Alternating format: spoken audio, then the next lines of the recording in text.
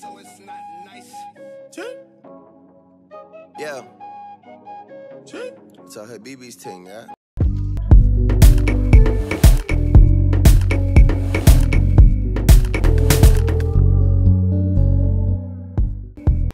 What's up tout le monde, j'espère que vous allez bien, on se retrouve aujourd'hui pour une toute nouvelle vidéo, alors I'm back. Première, pour cette, euh, ce retour du fast cam, j'avais envie de vous faire une vidéo euh, pas très originale, certes, c'est une vidéo qui circule beaucoup en ce moment. Euh, J'avais envie de vous faire la vidéo My Unpopular Opinions, donc mes opinions populaires, impopulaires. Je trouve que ça apporte pas très bien son nom, parce qu'en fait dans cette vidéo je vais parler des choses que je n'aime pas et que tout le monde aime, ou que j'aime et que tout le monde déteste. Voilà, je crois que, en général ils font, les gens ne font que ce que j'ai dit en premier, et je vais y arriver, mais euh, moi j'avais envie de faire le deuxième aussi parce que je trouve que c'est bien de, de, de, montrer qu'on aime aussi des choses qui sont pas forcément euh, ultra populaires ou qui sont détestées de tout le monde pour prouver qu'on n'est pas forcément un mouton et que euh, voilà on, aime ce que tout le monde aime et on déteste ce que tout le monde déteste. C'est bien de faire l'inverse un petit peu de temps en temps dans sa vie et je pense que c'est toujours comme ça. On a toujours une, une manière de soi qui est toujours originale donc euh, donc voilà let's go pour cette vidéo. Oui. Ah putain je vais faire une petite, euh, une petite story, vous avez passé sur... Alors, numéro 1, euh, des opinions de quelque chose sur lequel j'ai une opinion assez, on va dire, euh, pas forcément ultra négative, mais quand même un peu négative quand même. Euh, je sens que je vais me faire arracher dans les commentaires. Les gens, la K-pop. La K-pop. Bah écoutez, j'ai envie de vous dire, les gens, NG Phoenix, elle a, enfin Marie, euh, Marie Lopez, elle a pas tort, vraiment, elle a pas tort sur son opinion sur la K-pop, comme elle dit, dit-elle. Je vais expliquer un petit peu ce que c'est la K-pop avant de donner mon opinion, euh, et en parler un petit peu pour ceux qui vivent dans une grotte. Donc la K-pop, en fait, c'est, euh, en gros, c'est tout ce qui représente les boys bands et les chanteurs coréens. Du sud, évidemment, parce que dans le nord, ça va être un peu compliqué. La K-pop, en fait, ce sont des, voilà, des ensembles de boys bands ou de girls bands aussi, donc il n'y a pas que des garçons.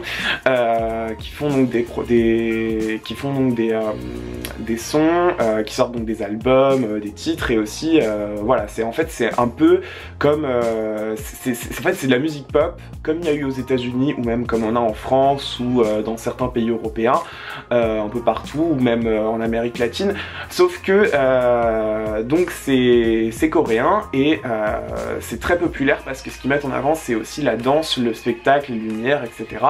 Et euh, La K-pop en fait ça fait déjà quelques années maintenant qu'il y a énormément de fans. On va dire que ça a commencé à pousser en France, ailleurs.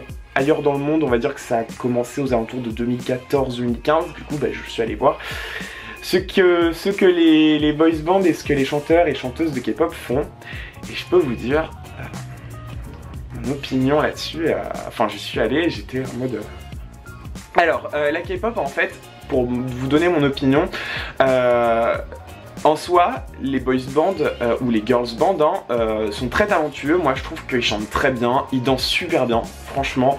Voilà. Mais ce que je comprends pas en fait, c'est l'image que ça renvoie. Pourquoi euh, faire renvoyer une image telle néfaste et telle, euh, enfin néfaste dans le sens, enfin vous, allez- vous allez comprendre après. Hein, commencez pas à vous enflammer. Donc aussi néfaste et aussi euh, peu, enfin l'image que ça renvoie, on est d'accord pour dire que c'est un peu entre guillemets l'échec médiatique de la société. Genre c'est pas pour dire que ouais ça ça enfin ce que je suis pas en train de dire que les gens qui écoutent de la K-pop sont en échec de société c'est pas c'est pas du tout mon but hein euh, non non vous avez le droit d'écouter ça et je vous respecte et vous avez tout à fait raison mais euh, l'image que ça renvoie c'est pas terrible genre la, la K-pop en fait le enfin le but des ce qu'ils veulent renvoyer les chanteurs et les chanteuses c'est une image un peu de la perfection du corps magnifique de la beauté magnifique et toutes- tous les gens qui ont font un énorme engouement qui sont fans et bah en fait les producteurs de K-pop, les maisons de disques de K-pop, etc. C'est ce qu'ils cherchent en fait. Ils cherchent à avoir vraiment ces, ces gens qui crient, qui sont vraiment amoureux pour tout simplement du business. Et vous allez me dire, ouais mais en fait Pedro, euh, tu craches sur la K-pop, mais en fait aux États-Unis c'est la même chose et pourtant toi t'aimes bien les Chainsmokers, t'aimes bien Ariana Grande et tout. Moi je suis d'accord avec vous. Je suis d'accord qu'aux États-Unis, je suis premier à dénoncer le fait que les euh, alors je crache pas sur elle, hein, je l'adore, mais genre elle rien à gronder, même Katy Perry, je suis un grand fan de Katy Perry, de Maria Carey, etc. Ou même les Kardashians qu'on voit à la télé euh, américaine, etc. Ou même en France, hein, avec la télé-réalité, etc. Euh, ça renvoie à peu près la même image, je suis totalement d'accord avec vous. Mais là en fait c'est un engouement qui est trois fois pire, c'est une, une popularité qui, monte trois fois plus haut que, que ce qu'on voit aux États-Unis ou en France. Et je trouve ça limite dangereux, genre vraiment. donc voilà, et je comprends pas. Deuxième opinion, alors là par contre c'est une opinion dont personne sera d'accord avec moi je pense. Hein. Je n'ai jamais eu quelqu'un qui a été quasiment d'accord avec moi parce que euh, donc c'est sur une plateforme, hein. je vais vous expliquer une plateforme internet. Euh, alors j'ai plein d'amis qui n'ont pas cette plateforme, je pense que vous voyez déjà de quoi je vais parler, euh, mais qui ont quand même regardé le contenu de cette plateforme d'une manière pas très légale, mais bon vous voyez de quoi je parle. Alors les gars, Netflix, Netflix, je comprends pas. Je comprends pas pourquoi il y a tout cet engouement pareil autour de cette plateforme. Je, alors, les contenus qu'il y a sur Netflix, je les respecte, hein. je pense que ça doit être de très très bons contenus, je les ai pas regardés, mais personnellement, moi ce qui est le mood des séries, genre euh, moi vous me, mettez, alors il y en a plein qui disent ouais euh, moi tu me mets un chocolat chaud, du popcorn et euh, un plaid et Netflix, genre Teen Wolf, Riverdale ou je sais pas quoi, je suis trop bien. Bah écoutez les gars, je vais vous dire un truc très honnêtement, moi vous me mettez une série Netflix euh, en mode chill chez moi j'ai envie de me barrer chez moi au bout de 10 minutes, hein. clairement. Genre, j'ai pas envie de me barrer parce que vous me parlez d'une série Netflix, hein, pas du tout. J'ai envie de me barrer parce que euh, j'arrive pas à accrocher aux séries. Genre, le concept d'une série en soi, je trouve ça trop long. Genre, trop fatigant, trop, enfin je sais pas, c'est comme lire un roman, genre c'est quelque chose que j'arrive pas à faire, donc moi je préfère mille fois sortir de chez moi, aller voir un bon film au cinéma, j'ai plein d'abonnements, j'ai deux abonnements, j'avais une carte UGC que j'ai que j'ai pas payé, bonjour, qui est bloqué, et j'ai une carte aussi Gaumont Pâté, un cinépass, genre j'adore aller au ciné, me faire des grosses séances en IMAX, là, là on est bien, vous voyez, on sort de chez soi et tout, puis on va avoir un un vrai blockbuster, un vrai truc de qualité. Je dis pas que les séries sont pas de qualité, elles sont produites par les mêmes producteurs, euh, voilà, notamment les séries Marvel et tout, qui doivent être super bien, mais je, n'accroche pas, et notamment euh, toutes les séries les plus populaires, je n'ai jamais regardé, genre Stranger Things, la Casa de Papel, etc. Tous ces trucs, je n'accroche pas du tout, ce n'est pas mon univers. Et c'est pour ça que je n'en parle jamais, je trouve ça surcoté, je trouve que les gens polluent Twitter avec ça, et euh, au bout d'un moment je trouve que c'est un petit peu fatigant. Mais après, j'ai plein d'amis qui sont fans de Teen Wolf, euh, d'ailleurs, euh, voilà, je vais pas citer des noms, mais mm, j'adore leur côté fan, etc. Je les trouve trop chou, et franchement je respecte totalement. donc voilà, pour moi les séries, ça s'est arrêté à Doctor House et les Simpsons quoi. Voilà, c'est les et Grey's Anatomy à la rigueur, c'est les trois seules grosses séries que j'ai regardées dans ma vie. Euh, vraiment quasi tous les épisodes pratiquement. Bon, Grey's Anatomy, j'ai pas regardé les derniers, mais c'est ce que je regarde le plus. Sinon, c'est tout quoi. Donc voilà, Netflix. Alors ensuite, euh, troisième euh, opinion, alors je pense que ça c'est plus ou moins les gens, les gens sont plus ou moins d'accord. Alors moi c'est tout ce qui est gaming, voilà, donc gaming. Alors gaming, j'adore les jeux vidéo, mais pour moi les seuls jeux vidéo que j'aime sur Terre et que j'aimerais à vie, c'est GTA et les Super Mario. Mais par contre tout, le reste, genre tous les gaming, les PC avec les grosses fauteuils, les gros fauteuils de gamer, là tous les jeux genre euh, LOL, euh, euh, WoW, World, of World of Warcraft, Counter Strike, tous ces trucs genre, je n'ai jamais accroché, je n'ai jamais eu de PC pour y jouer. J'ai déjà eu des PC mais pas assez puissants pour y jouer et franchement je je c'est pas un truc même les jeux sur téléphone ultra connus genre Clash Royale Clash of Clans à la rigueur j'y jouais mais j'ai arrêté genre j'ai trouvé ça vraiment au bout d'un moment genre has-been voilà, c'est un truc, ça n'a jamais été mon, délire, mon univers. Et alors le pire du pire du pire, c'est Fortnite. Genre Fortnite, je ne comprends Ensuite, euh, là c'est quelque chose que tout le monde n'aime pas trop et que moi j'apprécie et je suis pas d'accord avec l'opinion de tout le monde. C'est Disney. Donc voilà, je suis un très très grand fan de Pixar et des Walt Disney Pictures. Donc euh, les Walt Disney Pictures, c'est Frozen, euh, Zootopia, euh, c'est tous les Disney récents qui sont sortis, les nouveaux héros, je suis moins fan. Le Monde de Ralph et aussi les vieux évidemment dessins animés Disney, genre Aladdin, le Roi Lion, tout ça c'est la base.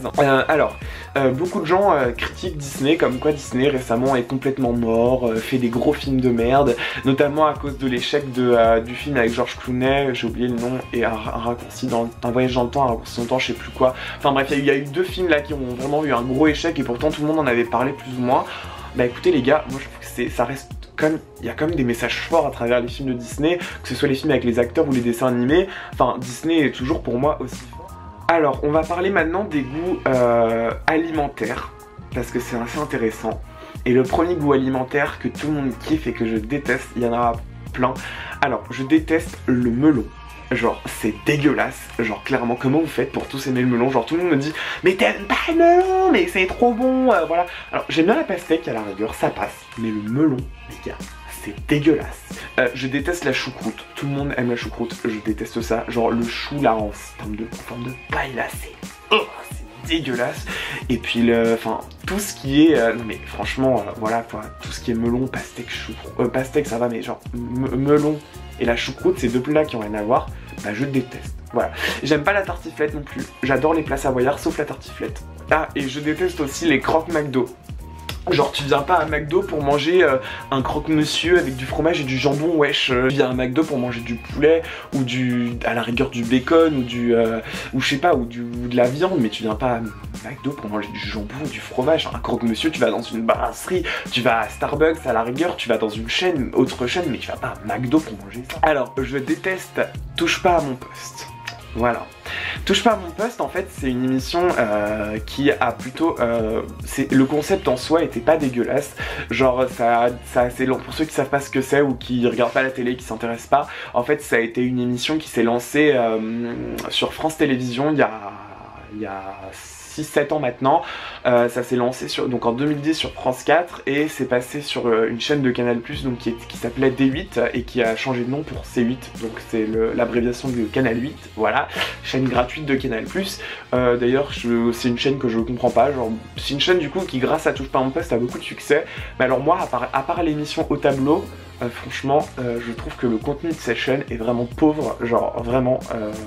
Enfin, les terriens, bon à la rigueur, c'est pas dégueulasse, mais qu'est-ce que c'est malaisant et qu'est-ce qui crache sur tout le monde à chaque fois? Enfin, Ardisson il est un peu con. Mais alors TPMP, genre vraiment je comprends pas. Je comprends pas l'engouement qu'il y a tout autour pour aller euh, vraiment. euh, Enfin, en fait, la façon dont TPMP a évolué, c'est une façon où justement une manière dont ça a pris une, ampleur ou une manière du d'une façon où ils ont beaucoup commencé à, dénigrer un peu les gens, euh, à voir ça d'une manière un peu, enfin, voilà, ils sont très genre, euh, dès qu'ils invitent quelqu'un, ou ils, enfin, ils, dé- ils démontent beaucoup d'invités, ils ont démonté Karine Ferry récemment et tout et tout. Moi, franchement, c'est une émission que je ne comprends pas, c'est quelque chose qui ne me fait absolument pas rire. Euh, donc voilà, il y a, enfin, je, je, je, je- ça, moi, ça, ça, ne- ça ne me fait pas rire, et je ne comprends pas, c'est pas, euh, là, c'est, je comprends pas. je comprends pas. les gens, voilà, Aya Nakamura.